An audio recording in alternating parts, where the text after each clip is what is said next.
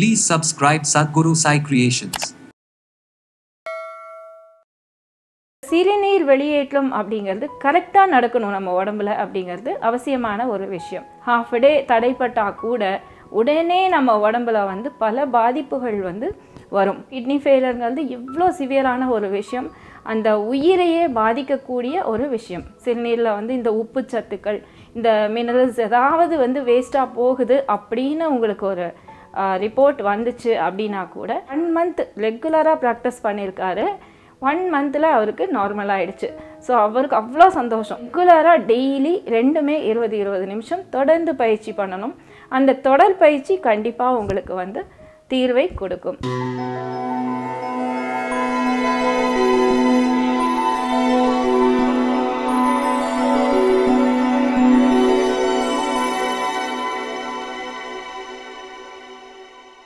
Sadhguru Sai creations நேயர்களுக்கு வணக்கம்.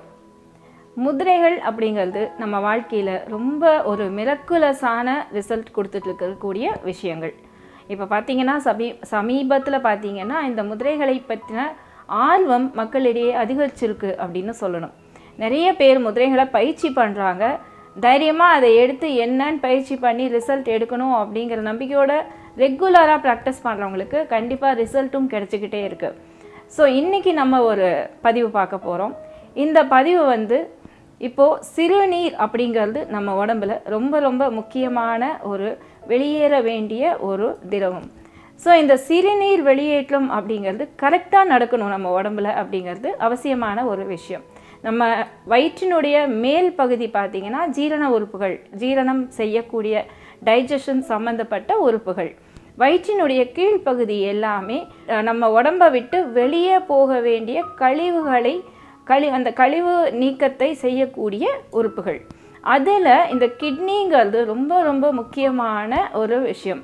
இந்த கிட்னியிலேருந்து வெளியேறக்கூடிய சிறுநீர் ஏதாவது ஒரு நாள் இல்லை ஒரு நேரம் இல்லை ஹாஃப் டே தடைப்பட்டால் கூட உடனே நம்ம உடம்புல வந்து பல பாதிப்புகள் வந்து வரும். ஸோ அந்த அந்த ஒவ்வொரு பாதிப்புமே பார்த்தீங்க அப்படின்னா ரொம்ப அதாவது ஒரு சிவியராக ஏதாவது வந்துருமோ அப்படிங்கிற ஒரு பயத்தை உருவாக்கக்கூடிய அளவுக்கு. ஏன்னா எப்போவுமே கழிவுகள் தேங்கிடுச்சு உள்ள அப்படின்னா ஒரு இடத்துல அப்படின்னா நமக்கே தெரியும். ஒரு வீட்டிலேயே ஒரு நார்மலாக வெளியேற வேண்டிய சாக்கடை தண்ணீர் வெளியேறல கொஞ்சம் நேரம் தேங்கிடுச்சு. ஒரு ஹாஃப் டே ஏதோ ஒரு பிளாக் ஆகிடுச்சுன்னா எவ்வளோ நாற்றம் எடுக்கிறது இல்லையா? அதே மாதிரி அந்த கழிவு நம்மளுடைய உடம்புலேருந்து வெளியே போக வேண்டியது போகாமல் தங்கிடுச்சு அப்படின்னா நம்ம உடம்புக்குள்ளேயும் அது வேற விதமான கழிவாக ஒரு வாயுவாகவோ இல்லை வேற விதமான ஒரு ரத்தத்தில் போய் தங்குறதோ இந்த மாதிரி தங்கி அது உள்ளுறுப்புகளை பாதிக்க ஆரம்பிச்சிடும் அதனால இந்த சிறுநீர் அண்ட் மலம் இந்த ரெண்டையுமே வந்துட்டு ப்ராப்பராக நம்ம பாடி வெளியேற்ற வேண்டியது ரொம்ப அவசியம். அதே மாதிரி சிறுநீரில் வெளியேறக்கூடிய விஷயங்கள் அப்படிங்கிறது இந்த மாதிரி தான் சிறுநீர் கரெக்டாக வெளியேறிக்கிட்டு இருக்கணும் அப்படிங்கிறது ஒரு இயற்கை நியதி இருக்குது இதில் ஒரு மாற்றம் வருது. அதாவது ஒரு நம்ம உடம்புல வந்து எக்ஸஸாக ஒரு ப்ரோட்டீன் இருக்குது ஆல்புமின் சொல்லுவோம் ஸோ இந்த மாதிரி எக்ஸஸாக தேவையில்லாத கழிவுகள் வந்து வெளியே போகிறது இல்லாமல் உடம்புக்கு தேவையான கழிவுகளும் சேர்ந்து அதிகமாக அந்த சிறுநீரில் திடீர்னு வெளியேற ஆரம்பிச்சிடும். இது எதுக்கான அறிகுறி அப்படின்னு கேட்டிங்கன்னா இதை அப்படியே கவனிக்காமல் விட்டோன்னா கிட்னி ஃபெயிலியர் அப்படிங்கிற விஷயம் வந்துடும் ஸோ உங்கள் எல்லாருக்குமே தெரியும் கிட்னி ஃபெயிலியருங்கிறது இவ்வளோ சிவியரான ஒரு விஷயம். அந்த உயிரையே பாதிக்கக்கூடிய ஒரு விஷயம். ஸோ அந்த ஒரு நம்மளுடைய லைஃப் ஸ்பேனையே பாதிக்கக்கூடிய ஒரு விஷயம். ஸோ அதை வந்து நம்ம அப்போவே பார்த்து சரி பண்ணிட்டோம் அப்படின்னா நம்ம லைஃப்பும் சேஃப் நம்மளோட லைஃப் இருக்கிற வரைக்கும் ஆரோக்கியமாக இருப்பது ரொம்ப ரொம்ப ரொம்ப முக்கியம். ஸோ அந்த கழிவு நீக்கம் அப்படிங்கிறது அந்த சிறுநீரை வெளியேற்றுதல் அப்படிங்கிறது அன்றாடம் இவ்வளோ இவ்வளோ லிட்டர் தண்ணி நம்ம குடிக்கணும் இவ்வளோ சிறுநீர் வெளியேறணும் அப்படிங்கிற நியதி இருக்குது ஒரு நாளைக்கு பார்த்தீங்கன்னா மூணு லிட்டர் தண்ணி கம்பல்சரி நம்ம குடிக்கணும். அப்போ தான் நம்மளுடைய அந்த ரத்தத்தின் அளவுக்கும் சிறுநீர் வெளியேற அளவு அப்புறம் வேர்வையில் போகக்கூடிய தண்ணி இது எல்லாமே பேலன்ஸ் ஆகி நம்ம உடம்பு வந்து ஆரோக்கியமாக இருக்கும்.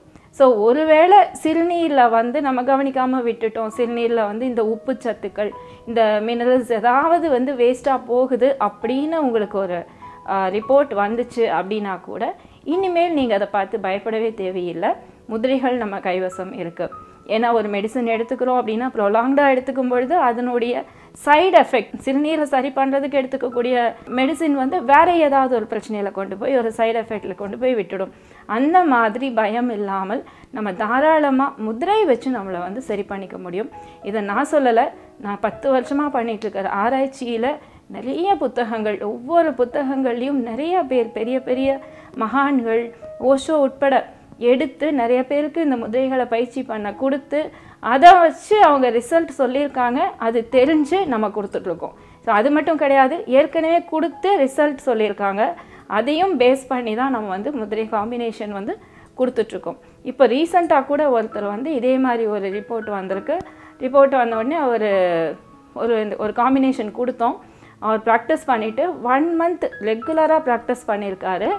ஒன் மந்தில் அவருக்கு நார்மலாகிடுச்சு ஸோ அவருக்கு அவ்வளோ சந்தோஷம். கிட்னி ஃபெயிலியருங்கிற ஒரு பெரிய விஷயத்துலேருந்து ரொம்ப இயற்கையான முறையில் வீட்டுக்குள்ளேயே உட்காந்துட்டு செலவில்லாமல் என்னை நான் சரி பண்ணிக்கிட்டேன். ஏன்னா உங்களுக்கே தெரியும் ஒரு ஒரு இடத்துல போகணும் ஒரு டெஸ்ட் எடுத்ததோட அவருக்கு முடிஞ்சிருச்சு. மற்றபடி பெரிய பெரிய செலவுகள் எல்லாமே தவிர்க்கப்பட்டிருக்கு. ஸோ அது ஃபினான்ஷியலாக பார்த்தீங்கன்னாலும் உங்களுக்கு முதிரைகள் வந்து ஒரு வரப்பிரசாதம் அப்படின்னு சொல்லலாம். வீட்டுக்குள்ளேயே நீங்கள் உட்காந்துட்டு உங்களை நீங்கள் க்யூர் பண்ணிக்க முடியும்.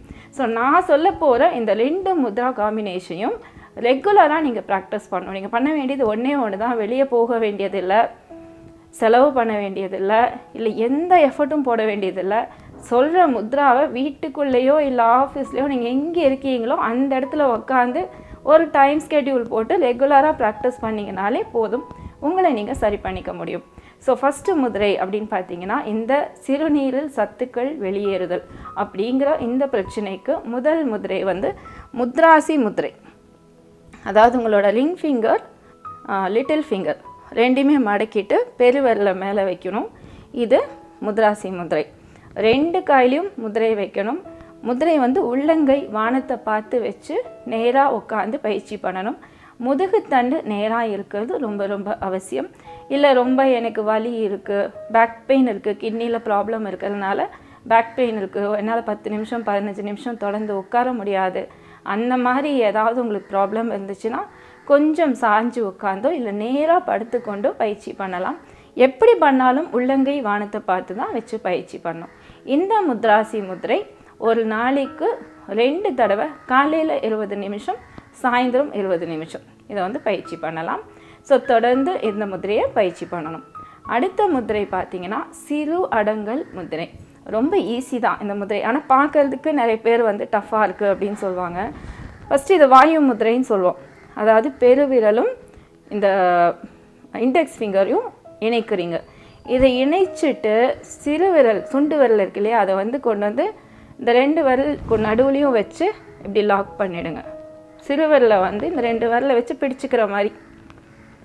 மற்ற ரெண்டு விரல் நடுவிரலும் மோதிர விரலும் நேராக இருக்கும். இது சிறு அடங்கல் முதிரை. இந்த முதிரையும் நீங்கள் வந்து காலையில் இருபது நிமிஷம் சாயந்தரம் இருபது நிமிஷம் பயிற்சி பண்ணலாம். இப்போது எனக்கு டைம் இருக்குது இல்லை டைம் இல்லை ஏதோ ஒரு காரணம் சொல்லிட்டு ஒரு முதிரை பயிற்சி பண்ணி ஒரு பத்து நிமிஷத்துலேயே இன்னொரு முதிரை தயவு செஞ்சு பயிற்சி பண்ணாதீங்க.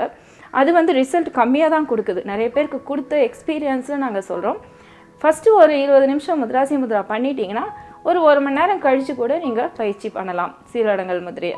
நீங்கள் ஆனால் ரெகுலராக டெய்லி ரெண்டுமே இருபது இருபது நிமிஷம் தொடர்ந்து பயிற்சி பண்ணணும். அந்த தொடர் பயிற்சி கண்டிப்பாக உங்களுக்கு வந்து தீர்வை கொடுக்கும். ஸோ தொடர்ந்து முதிரைகளை பயிற்சி பண்ணுங்கள். நலம் பெறுங்க. வாழ்க வளமுடன். முதிரைகள் பற்றிய சந்தேகங்களுக்கும் முதிரைகள் கற்றுக்கொள்ள ஆர்வம் இருந்தாலும் எங்களை தொடர்பு கொள்ளுங்கள்.